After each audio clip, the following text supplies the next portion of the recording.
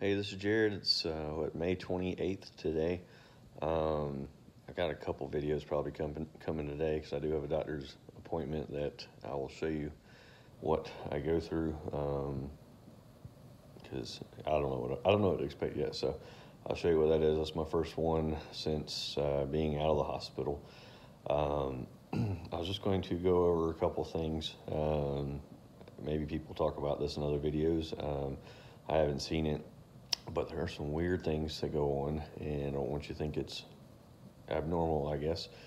Um, uh, like going to the bathroom um, for guys, especially, but maybe women too. I don't know how it works because I'm not a woman. Um, you know, you had a traumatic incident, uh, especially if it's above the knee, that uh, um, you know affects other things in very close proximity, um, like going to the bathroom. Um, it almost turns you into an older man quicker. Um, you have to you have to think about going to the bathroom and pressure, and it doesn't just flow quite like normal.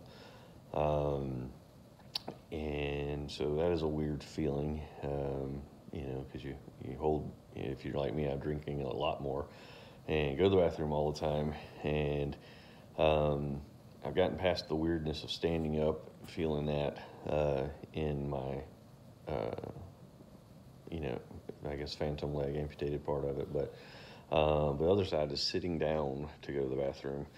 Um, that is a weird feeling that, um, yeah, I don't know. I haven't got past that yet. I've gotten used to it, but it's so weird. Um, if there's uh, any kind of pressure. Uh, I don't know how to describe it right. Uh, you feel it in your foot. Um, I've never thought about it when I had two feet, uh, but now I feel it in the ghost foot down there and in that leg, like, you know, I'm trying to push an egg out of the, the stump there.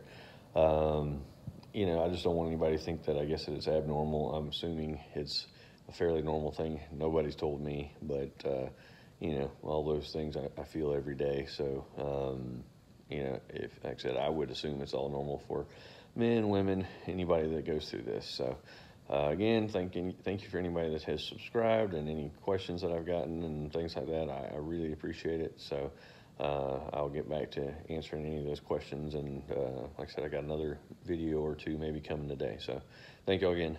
Bye.